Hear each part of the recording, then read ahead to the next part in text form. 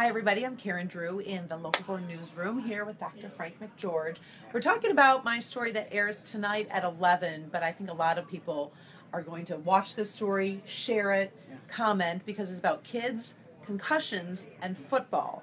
And the main gist of the story is the fact that we've heard a lot of studies um, done with college, with NFL, on helmets. There hasn't been a lot of studies done on our youth who are in football, and I think there was a st- statistic like three million kids are in right. youth football right now, and they are getting a lot of concussions, and mm-hmm. apparently they're getting them more from practice than at games. And yeah. Virginia Tech did this study. I was really surprised to find that out. I just assumed it happened more at a game, right? But apparently, these practices. Well, keep in mind, first of all, a game is a very limited period of time. Mm-hmm. There's a ref that's watching and saying, "Hey, bad hit, no no dice." Right. During practice, there's no ref. There's just a coach. Hopefully, the coach has some common sense. But you know, during practice, you're trying to push the boundaries. So that may be why it's more common. Of course, you're doing more drills. So you are repetitively hitting your head or running at something, whatever, during a game. You know, again, it's a finite period of time. So there's a reason that practices tend to be more dangerous in a sense. You might also be a little bit more careless with your protective gear. That's true. I think on a game, I think you're like that. Adrenaline's going. You're suited up more. You you're expecting maybe a bigger hit. Right. Compared to your teammate, but you're right. You probably aren't as prepared. Right. And so you know, practices. I think people don't take it quite as seriously. Mm-hmm. That's part of the issue. You know, and there's an interesting statistic actually. Most um, concussions occur in younger age groups below high school and below, actually, not college and above. And I think some of that also sort of plays into the practice issue, and that's college and above, it's better regulated. Mm-hmm. Practices, not so much. And high school and below, not so much. I mean, people are a little bit more casual, and of course, younger kids also have um, more easily injured brains because their their brain is actually filling more of their skull. I mean, as we get older, our brains shrink a little bit. Maybe not in college, your brain isn't shrinking so much, but as you age, your brain does shrink, and so kids they have less room in their heads, and so when they get hit, their brain slides forward and it gets stopped by their skull, and that's really what causes a concussion, is some of that sloshing around inside of the head. And of course, children, they have, um, although they can recover a little bit better, they have, in a way, more sensitive brains. Mm-hmm. So that's part of, you know, part of what we also are worried about, and that's why it's really a big deal in kids, because in, you know, teenage, um, high school, and younger types, because it's a higher rate. Mm-hmm. That's where more damage can be done and accumulated more quickly are we talking permanent?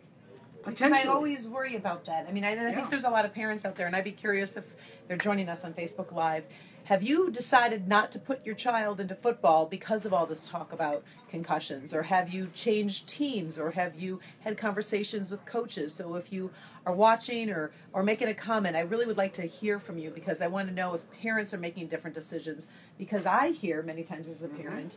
I know some of my mom and dad friends have, have made those decisions sure. because they're worried about permanent damage. Well, it can be permanent. And Some of that has to do with the sensitivity of the individual, but some of it has to do with the repetitive nature. So one hit, not so bad, may not be permanent, but repetitive hits, especially over short periods of time, can lead to permanent damage. And that's where we really do worry, especially in younger kids, because that can cause longer term developmental problems, emotional problems, mm-hmm. and really long term disability. Because basically, if you get injured as a child and you're not able to learn as quickly, for example, as your classmates, that puts you behind the curve. And that's going to be a long term thing. And not that I want to upset any football parents, but I've got to wonder okay, let's say you're considering letting your child join a football team. Mm-hmm is there an age where you need to say to the coach, "I don't want any tackling"? Is that okay? Is that possible? I mean, what if there's? Yeah, right. I mean, can you do that at age six? Or I don't know or, if that's possible given I mean, I know the nature sounds, of football. I'm a mom. I mean, you know, well, I, don't mean technically, but maybe certain types at practice are limiting. Right. I don't know. Well, How do you do that at a certain age? I think that makes sense, and I think if you could do that, that would be perfect. Yeah. But I don't know that that's practical given the way football is played in America. Right. Now, you know, and, and, we're focusing on football, but I, you know, I think it's important to point out there's soccer. plenty of other, yeah, I have soccer, so, hockey. Yeah. There's plenty of other sports where kids get whacked in the head from all kinds of, you know, all kinds of forces, and they're all. I don't want to say equally as dangerous as football because football is, I think, a little bit worse, but they all have their inherent risk of head injury. And you do have to be very conscious of it. And I've also noticed too on some teams, especially soccer teams, I've heard, you know, that some coaches do try to limit Yeah. practicing with the head and Mhm. trying to play a different game if you can, Right. not using your head as much as back in the day when we did, because I thought that was a great move. Then I could do it. It wasn't that good. Well, you know, I think anytime, you know, if you just, it's just sort of a common sense thing. If you're repetitively hitting your head hard, that's bad. Mhm. I mean, I don't know that, you know, it doesn't, I don't think we need a lot of science to support that or back that up. But, you know, the fact is, actually, the even the nature of the definition of concussions has changed over time. It used to be, you know, when I was when I was in medical school, for example, we would routinely say, if you did not lose consciousness, you did not have a concussion Okay. that has actually evolved over time in our understanding that concussion now is is more than losing consciousness that is you do not have to lose consciousness to sustain enough injury that it could be called a concussion we know this from all kinds of other brain imaging that a concussion involves not only physical damage to the brain but chemical changes in the brain that are much more subtle mm-hmm. and so sometimes it's just a brief period of confusion. You got your bell rung without mm-hmm. actually losing consciousness. Sometimes it's confusion, sometimes it's just bad headache. Those are evidence of brain injury, which we really basically have translated now into the word concussion. Do you see in the ER younger people coming in with concussions than you used to? Mm, I don't know that it's that that's really changed in the sense that the threshold to bring someone to the ER usually, especially after a sporting event, is usually a coach call. And coaches generally don't send kids in unless they think there's something that really needs to be checked out. So I'm not sure that's really changed that much. Now, if it's the parent that is concerned, yeah, there's probably been an increase in parental concern, but most of the time it is for something fairly significant that we need to evaluate. You know, because really the way you evaluate a concussion is you know, talking to the, the person, see what kinds of symptoms they're having, do a quick physical exam, make sure they can do some normal neurologic things, mm-hmm. that their speech is normal, that they can, you know, move their arms and legs normally with good coordination. But beyond that, really the main thing is psychomotor testing. So that's why we encourage everyone that plays sports, especially, but really in general, get a baseline of your reflexes, get a baseline of how quickly you can do certain types of computational problems. Then, if you injure your head, especially again if you're in sports, we can check you to see whether your reflexes are as good, to see whether your ability to do computations are as good, and we know whether there's actually been a functional injury. Where That's- do you get a baseline test like that? Do you have to go to a doctor for an official? No, actually, you know, a lot of schools, and, and you can find them online as well, Mhm. but a lot of schools are able to administer these, you know, they're called psychometric tests, but they're basically tests that measure your ability to perform with your mind quickly. And so that way, if we establish a baseline and then we repeat it after you're injured, we know that you have had a functional decline as opposed to looking for a physical injury in the brain. Because sometimes, you know, people, parents, actually, parents come in pretty often and they say, My kid got hit in the head, they need a CAT scan. And the truth is, when we examine them, they don't need a CAT scan. They don't need an MRI, but they do need to be followed up. They should undergo some testing. But the majority of concussions being diagnosed these days are not physical, that is, things that you can diagnose on CAT scan or MRI, but they are subtle psychological things that you would find on psychometric testing. Changes in reflexes, changes in thought processing, changes in your ability to do math problems or that kind of thing. And again, everybody's different. So you But have that's to good to know that because. I would think if I was a mom and my kid got hit hard, I would be, I want an MRI, I want a CAT scan, Right. but that's not necessarily the best test to ask for. Correct. And Okay. it's not it's it's first of all not usually necessary. Right. And it certainly is not necessarily the best test. That is most of the time those tests are going to be normal anyway. Now there are times when they are necessary, so you should ask if you're worried. But if you've been or your child has been evaluated and we don't think a CAT scan or an MRI, but really CAT scan is kind of the 1st Mhm. line, is necessary, that's actually an important thing because really you don't want to expose your child to unnecessary radiation. You don't want to have to, you know, go. I mean, there's a lot more to the CAT scan than just laying them down on a CAT scanner and getting it done. So you want to limit it to when it's necessary. When it's necessary, absolutely do it. But there's a lot of times when, frankly, we evaluate the person and we say, no, this is something where it can be basically treated as an outpatient. We do testing on them, we follow them up, we do a lot of conservative management. That is, you know, no contact sports for a while. So you're out of the game for a while if you knock What's your head banging up. Well, okay, so that's Actually, right. That's a very interesting point because that is not super well defined. It partly depends on how bad the injury was. So, for example, if you have a head injury and you lose consciousness, you're going to be out for a lot longer than if you just quote got your bell rung and were just confused or a little Mhm. dazed for 20 seconds. But in general, a good rule of thumb is going to be about a week. Okay. If it's, you know, if you lost consciousness, it could be as long as a month.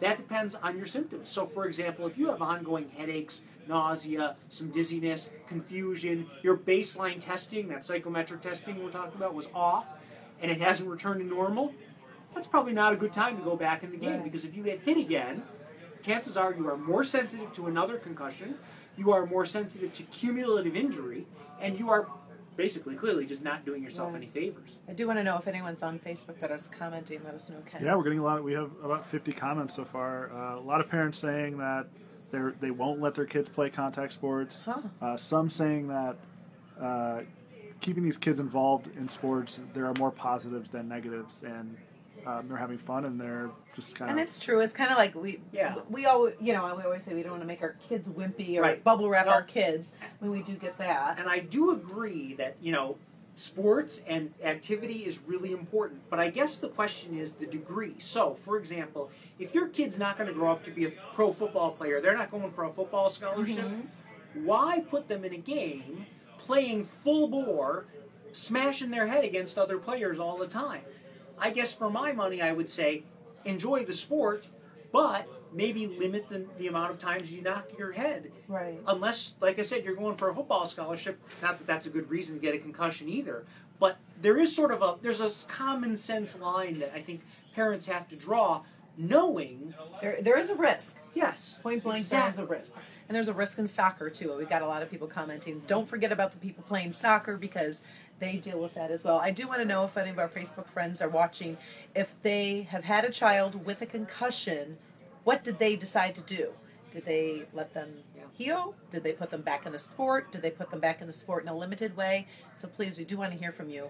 Um, this isn't just a one-time story. We, we, it's been in the news for quite some time. Oh yeah, But I do think this Virginia Tech study is interesting that it really did focus on the youth. Right. And we do put a lot of attention on the college players and the NFL players. Mm-hmm. And if you happen to be just joining us, we're talking about concussions in our younger kids that there hasn't been a lot of study done, especially with their kind of helmets. And Right. they put an accelerometer Yeah. and they measured. And it, like you said, the brain has not as much space. Right. Is that it why gets- it. so yeah, so you know you can think of it as you know your brain is you know if this is your skull and this is your brain, your a child's brain is tighter up against there than uh, you know an older adult's brain where there's a little bit more well Mhm. fluid basically around Right. your brain. So you know in a child when that when you stop suddenly your brain is going and it gets squished, it gets hit up against the skull on the inside or twisted. And that's, you know, the accelerometers that are in helmets, that's what it's measuring. It's measuring that force. And so those kinds of studies help us understand better not only how to protect our children, but what maybe what the limits should be. Mm. Because that's part of what I think we're beginning to wrap our heads around. Now that we understand that concussions are not just a loss of consciousness, the concussions can be much more subtle. Now we need to figure out where does damage start to occur, where is there real injury, and then maybe change the game or modify the rules so that we can limit the amount of injury and still let people have fun and enjoy the sport. because it is interesting, like we said, and also I want to hear from people if if their coaches are coaching different, or if their coaches are doing anything different in practice. We have, we we Yeah, we just got a we just got a Warner team. comment from uh, Ryan that says my son plays and the coaches teach the heads up method of tackling. Yep, that's exactly what we're talking about tonight at eleven. Um, a lot of people saying, you know what, some of this is up to the coaches to teach the correct way of, Right. of tackling and playing, and And and that- and, and uh, to get these kids in the right equipment that they need to be in. Yeah. Right, and I think you're right. The heads up approach is very popular now, but a lot of times.